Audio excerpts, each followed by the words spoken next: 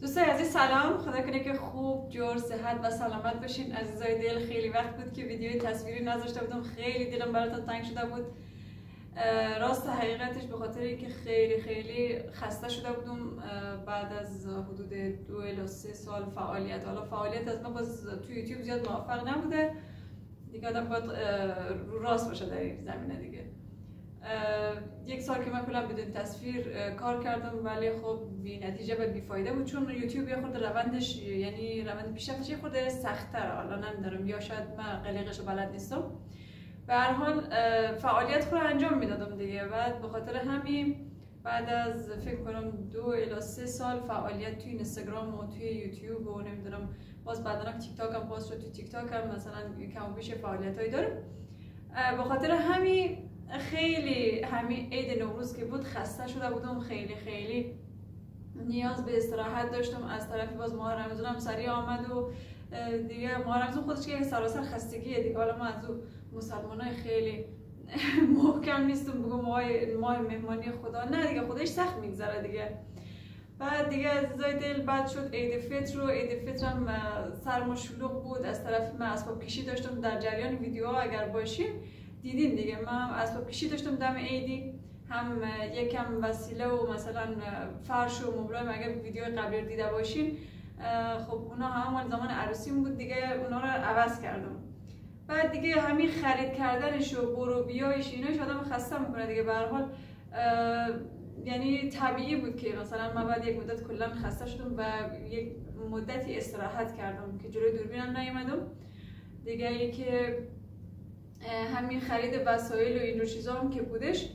من سعی می‌کردم برم براتون ویدیو بگیرم ولی خب توی ایران یک رقمیه که تو حتی لباس تو خانم بری بخری نمی‌ذاره فیلم بگیری. به خاطر همین می اومدم مثلا ویدیو رو شروع می‌کردم که آره امروز می‌خوام برو مثلا مبل نگاه کنم یا امروز می‌خوام برو فرش نگاه کنم در مرکز فرش با هم دیگه بریم که شما نمونه کارا رو ببینین ولی خب اونجا که می‌رفتم بعد و بعد خدا هم گفتن حق فیلم برداری و عکس برداری نداریم اگر می‌خواین مثلا ویدیو کال بزنید مثلا با کسی که حالا می‌خوایم ببینه او ببینه. ولی خب میگم دیگه به خاطر همین دیگه باز ویدیو کلا کنسل بشدش به خاطر همون کلا در ایام عید من ویدیو نداشتم بعد به خاطر همون آمدم یک شفاف سازی براتون بکنم که این مدت نبودم چیکار می‌کردم کجا بودم و اینا.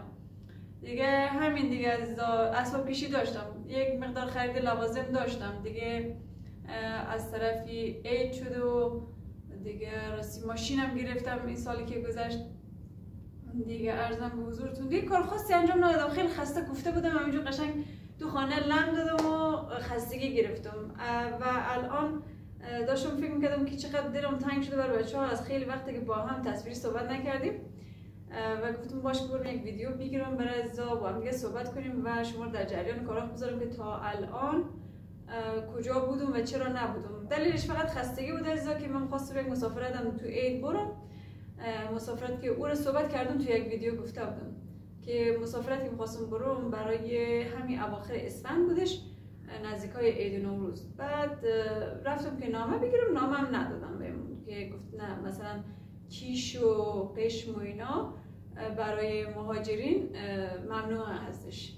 دیگه از اونجام که تیر خورد به سنگ و خستگی همونجور ماند و ماند و تا الان دیگه من سعی کردم گفتم با او حالت خستگی براتون ویدیو نگیرم خلاصه. که به هر حال شما او خستگی او موج و انرژی منفی داشت ما انتقال ندم دیگه از سعی کردم که خستگی رو برطرف کنم و از بعد انشاءالله شاید ویدیوهای خیلی بهتری خواهید بود. و اینکه انشاءالله میریم بیرون ها چکر می‌زنیم براتون ولاگ هم آماده می‌کنم برشم ویدیوهای ولاگی فکر کنم بیشتر طرفدار داره نسبت به آشپزی من بیار نگاه می‌کنم دیگه نسبت او کامنت ها و لایک ها و اینا همه در نظر می‌گیرم. می‌بینم که شما ویدیوهای ولاگی رو بیشتر میپسندید. انشالله الان هوا خوبه دیگه بهار شده. باز بخیر میریم جاهای دیدنی مشهد جاهای تفریحی مشهد.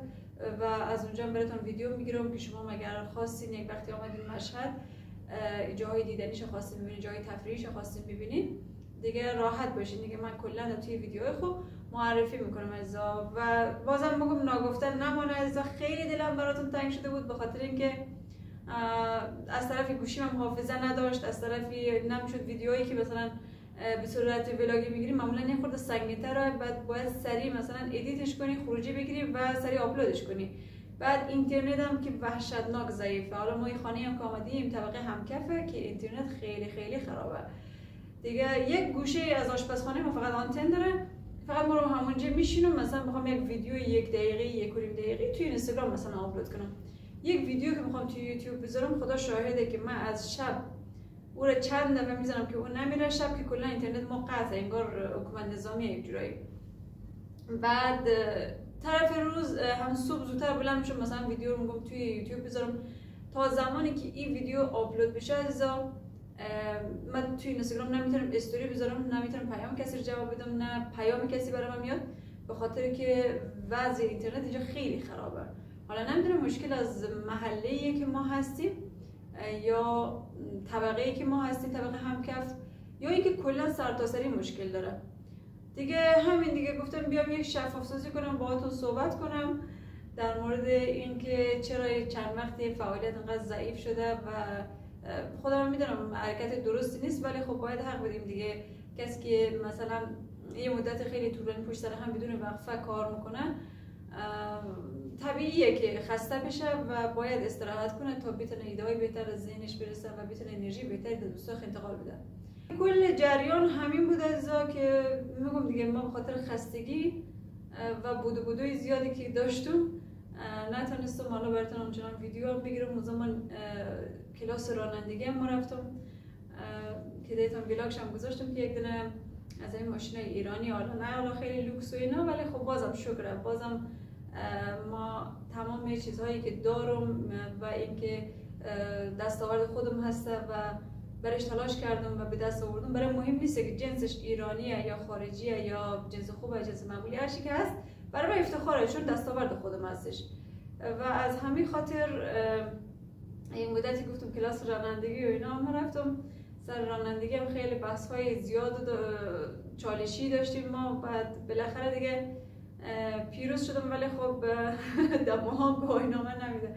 گواهینامه که حالا بخوام برای موها مثلا بدن خفخان رستمه که نمی‌دونم بریم بهزیستی و نمی‌دونم فلان کنید و اگر شرایطی رو داشته باشین یه گواهینامه یک ساله با گذراندن خفخان رستم مثلا می‌تونید به دست بیارین. ولی خب نشد دیگه. برای ما همچین چیزی همچین موقعیتی پیش نیامد رفتم اقدام کردم ولی ندادن. گفتن شما شامل گواهینامه نمیشین. انشاءالله که پاسپورت را بیفتم و انشاءالله مرا کارت خود تبدیل کنم در پاسپورت. بعد برای گواهینامه اقدام کنم که گواهینامه داشته باشیم. دیگه کل داستان همین بود از و امروز هم می‌خواستم که یک بورانی بادمجان خیلی خوشمزه آماده کنم. خوشحال میشم تو با این ویدیو با من همراه باشید. اگر like comment subscribe نذاشتین حتما بذارین ویدیو آشپزی رو تحویل بگیرین از برشم واقعا وقت دارم می‌ذارم و اینکه تو اینستاگرام فعالیت دارم که این پایین براتون آیدی اینستاگرام رو گذاشتم. اینستاگرام خیلی به نسبت یوتیوب خب حالا قوی تر و بهتر هستش. چون فعالیت تو اینستاگرام توی ایران راحت تره توی یوتیوب خب ویدیوهای خودمون طولانی اینترنت هم خیلی وحشتناک ضعیفه. از اون خاطر نمیشه خیلی فعالیت حالا فعالیت خیلی قوی داشت. برای از ما اینجوری حالا شاید برای بقیه دیگه اینترنت خوب باشه شاید بتونن خیلی خوب فعالیت کنن. ولی خب زمانی که ما بخوام ولاگ بگیرم باز از استوری اینستاگرام اگر بخوام استوری بگیرم باز از ولاگ بمونم.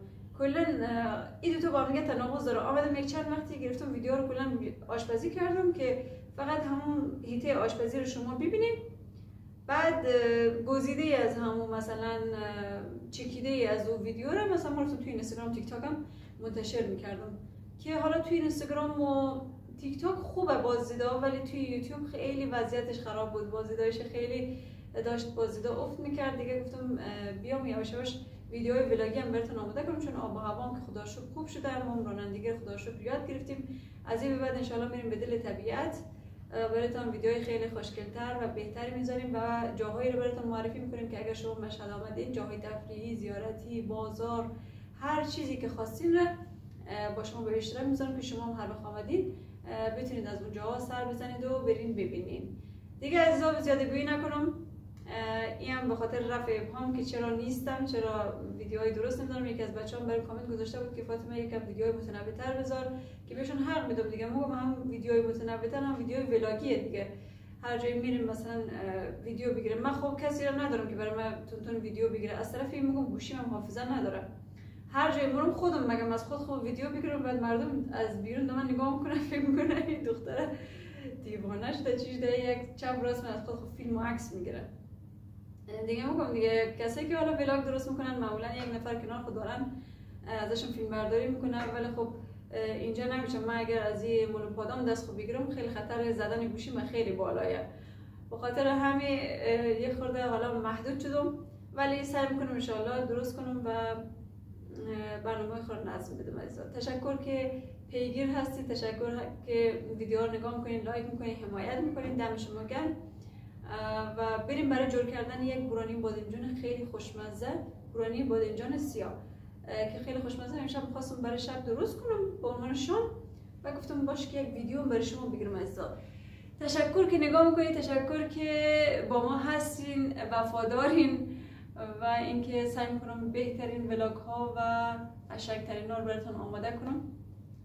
فقط خواهش می‌کنم که یه خورده بیشتر ساپورت کنید یک خورده بیشتر حمایت کنید تا ما یه خورده انگیزه بگیرم. انگیزه دارم انگیزه بره بالا انرژی بره بالا و بعدش هم انشاءالله ویدیوهای خیلی بهتری از مشهد و از هر جایی که رفتم باز براتون به اشتراک بذارم انشاءالله. دیگه با ما همراه باشیم. بریم ما هم دیگه. برانی بادمجون درست کنیم. خب عزیزا از بادمجون های ما این بادمجون گلخانه ایه حالا او بنده خدایی که ازش خریدم اینجوری گفت که اینا گلخانه ایه و دونه دار نیست. بعد اینکه اینا رو اگر دوست داشتین می‌تونین تمام کمال پوستش بگیرین مثلا مثل این یکی که من گرفتم یا کامل پوستش بگیرین. ای بابا این چوقا چرا نمی‌بره فقط باید از چاقوی میوه خوری برای کار استفاده کنیم باور کنیم هیچ چاقوی به چاقوی میوه خوری نمی‌رسه.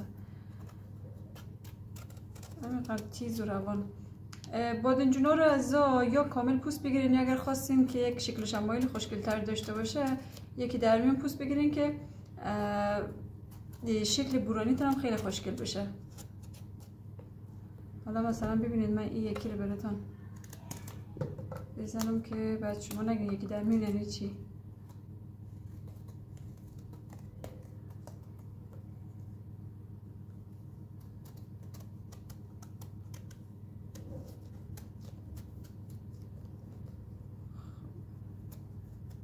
این خودتانه دیگه. اگه دوست داشتین که پوستش کامل بگیرین اگر دوست نداشتین خواستین که برانیتون خوشگل و مجلسی تر باشه شما که برای مجالس هم این آماده کنین. اگه خواستین خیلی خوشگل و مجلسی باشه اینجوری مثلا بذارین یک تیکه از پوستش هم باشه خیلی خوشگل میشه.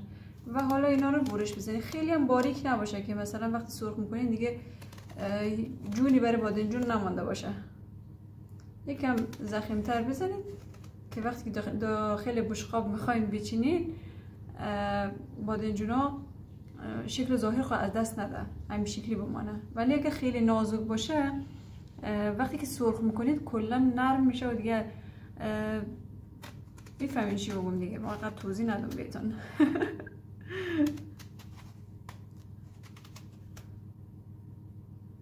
به این شکل بادنجونا رو پوست بگیرید من البته بادنجون رو نشستم بعد یک دفعه باز میشورم عزیزا. خب داخل این ظرف من یک مقدار آب گرفتم آب سرد و حالا بهش نمک اضافه می‌کنم که آب نمک می‌خوایم آماده کنیم که بادنجونا رو بذاریم داخلش تا تلخی بادنجونا گرفته بشه. هرچند که گفته این بادنجونا بادنجونای گلخونه‌ایه و اصلا تلخ نیست دونه دارم نیست. بعد حالا ما برای احتیاط دیگه. بادنجونا رو می‌ذاریم داخل آب. در حد 15 الی 20 دقیقه بعد توی فاصله میریم بقیه کاراش انجام بدیم. الیاس هم رفته با بچه ها بیرون. صداهایی میاد. صدای الیاس و دوستاشه. تو پارکینگ داره بازی بکنن خب من بادنجون رو از انتقال میدم داخل آب نمک. بعد بقیه کارا رو در شما در جریانش می‌ذارم. حالا بریم برای جور کردن بورانی بادمجان. چوجاقی خدا شده اصاب مر به هم میرزه سه تا ظرف شده دست گرفتم داخل از این می‌خوایم که لعاب گوجهش رو آماده کنیم. داخل از هم که پخته آخرشه. یعنی بادنجونا رو داخلش میچینیم و داخل تابه هم قراره که بادنجونا رو سرخ کنیم. هر سر همزمان انجام میدیم که زیاد وقت ما گرفته نشه. یک مقدار روغن میریزیم برای لعاب بورانی. گوجه رنده کردم عزیزا. گوجه رو داخل روغن میرزم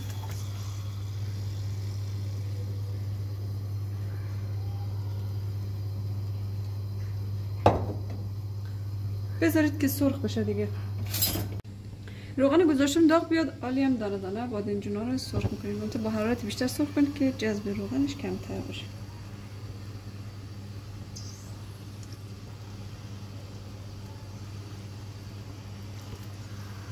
نیاز نیست. خیلی بریان شونه چون که باز دوباره یک دم مخوره با گرجه و اینا.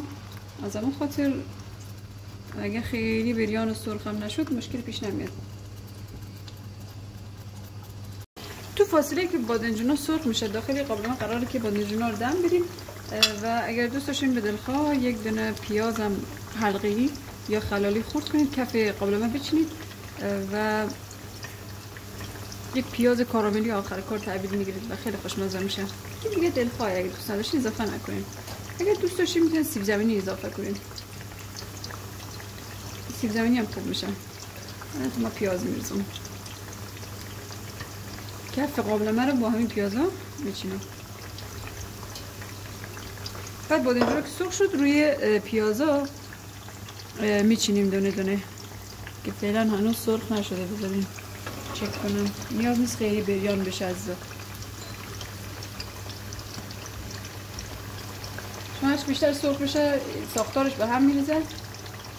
بعد و لورده میشه. یک کم که احساس کردیم یک کم سرخ شد. طرف دیگه شو بچرخونیم اون طرف هم سرخ بشه و تمام.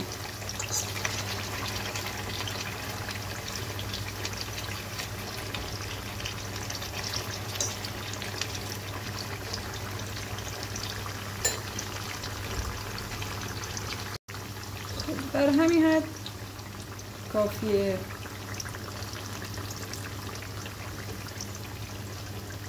زیاد از حد سرخ نکردم.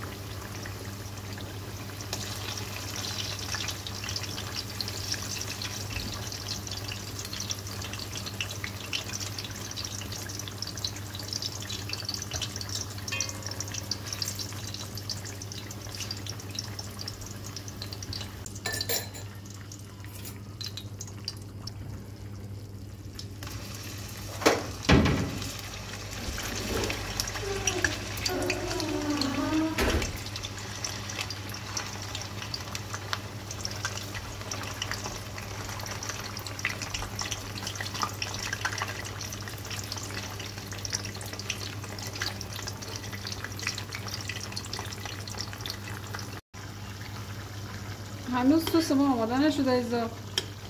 باید اول این سس آماده بشه او گذاشتم که بادنجونا آروم آروم سرخ بشه. چون لایه به لایه باید از همین سس روی بادنجونا بریزیم داخل قابلمه دیگه. بعد عرضم به حضورتون که بهش یک مقدار سیر اضافه می‌کنم.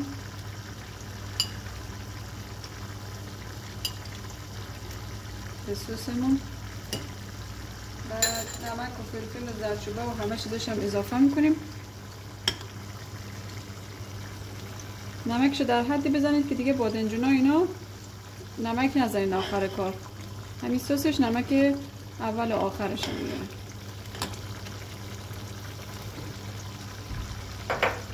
یک مقدار زرچوبه یک رنگ بهتری بهش بده. یکم فلفل سیاه اگر دوست داشتین. ولی زیاد نزنید رنگش خیلی تیره می‌کنه خراب می‌کنه. و تخمه گشنیز. از اینم استفاده کنم.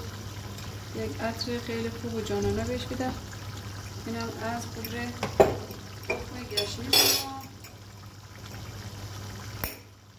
دیگه از این فلفل هم داریم عزیزا اینو لابلاش میندازم خب؟ الان داخل سس نمیریزم. می‌تونید ریز کنید داخل سس بریزین ولی من لابلای چیزا میریزم لابلای بادنجون میریزم. خب آب گوجه تا حدودی کم شده و کم کم داره سرخ میشه گوجه ما. توی فاصله یه قاشق غذاخوری روغن می‌زنم. نه روغن رو رب می‌زنم به خاطر که رنگش خیلی کدره بی حاله روب می‌زنم که خوش رنگ تر بشه.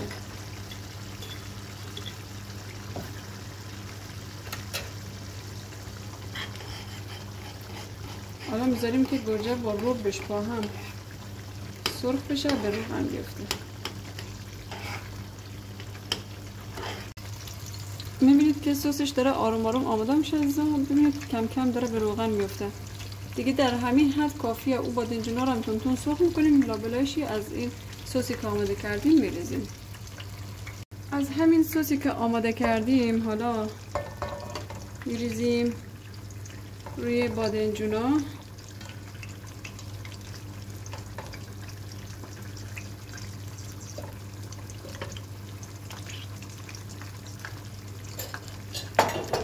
بادنجون بعدی رو میچینیم روش.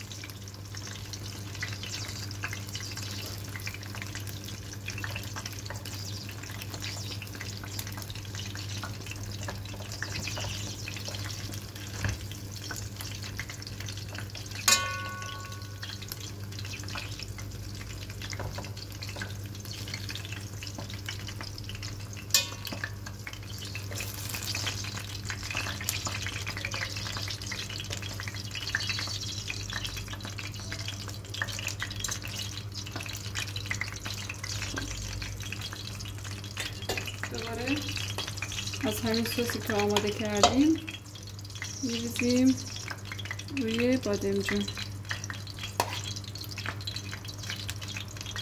این سس دیگه داخلش نمک و فلفل و تمام چیز داره دیگه. احتیاج نیست که حالا بخواین نمک و فلفل و چیزا اضافه کنید روی بادنجونا همینجور لایه لایه همه کار رو انجام بدیم. و بقیه بادنجونا رو سرخ کنم از بعدش میریم برای دم کردنش. بالاخره سرخ کردن بادنجونا تمام شد. لایه به لایه ما از همین سوسی که آماده کردیم روی بادنجونا ریختیم و اینم لایه آخرش.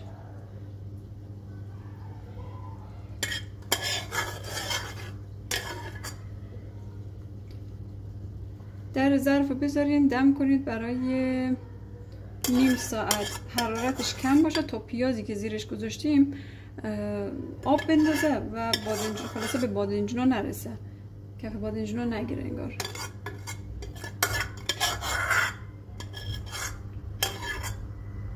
خب سسش هم تمام شد. در ظرف بذارید شعلش هم کم باشه. اگه خواستین از دمکنی استفاده کنید. حالا دمکنی بذارین زیر گازم زیر قابل مرم کم کنید و بذارید که برای نیم ساعت با شعله خیلی کم دم بکشه. این برم بچه ها براش یک مقدار سیر ماست آماده می‌کنیم. این ماست چکیده چکیده ساده ترش. حالا یک کوچولو نمک بهش اضافه می‌کنم. بعدم یه مقدار سیر سیر رنده شده. اضافه می‌کنیم و با یک کوچولو آب رقیقش می‌کنیم.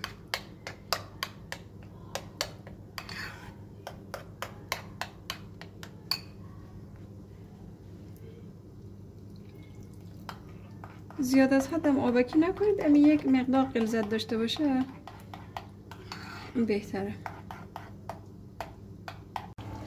از سیر ماستی که آماده کردیم کف ظرفمون میریزیم. و بادنجونا رو داخلش می‌ذاریم. بادنجونا رو هم سعی کنید یه جوری بردارین که شکل شمایلش خراب نشه شکل خود حفظ کنه و مرتب باشه. له نشه از پیشتون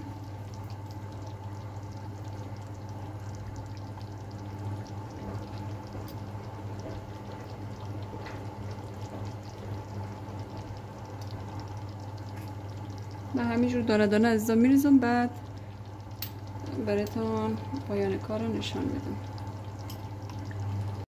خب عزیزان ما برانی بادنجون داخل دیسک کشیدم. الان هم رویشی از همون ماست و ماست سیردار که آماده کردیم به همراه نعنا میرزم ببخشید دیگه ماشین لباسشویی روشنه. حمایت از کالای ایرانی کردیم و اینکه صدا میده دیگه بخشش باشه. اینم از سیر ماست ما. که کم کم روش میریزیم.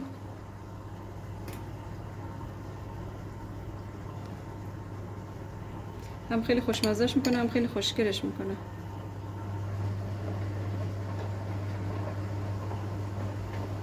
حتما این بورانی بادنجان خیلی خوشمزه در خانه آماده کنید. ازا خیلی خیلی خوشمزه. من همیشه این مدیری آماده می‌کنم. و مورد پسند اعضای خانواده هستش. خدا رو شکر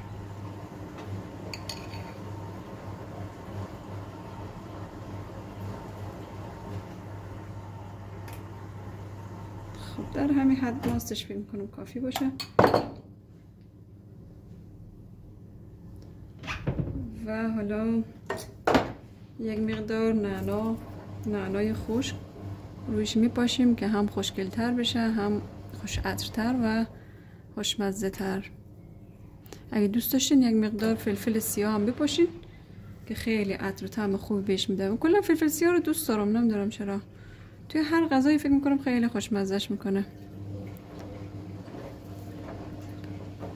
و به همین صورت اینم از بورانی بادنجون ما بورانی بادنجان سیاه. که البته بادنجان سفید که نداریم ما. مردم افغانستان گرجه بانجان رومی میگن. بخاطر همون ایرد بادنجان سیاه صدا می‌کنن. حالا یک مقدارم از همین روغن قرمه یا همین بورانیمون میریزیم. قسمت هایی که ماست داره. برای که خوشگل تر بشه ترکیب رنگ جذاب بهش بده. و به همین روش بورانی خوشمزه ما آماده شد.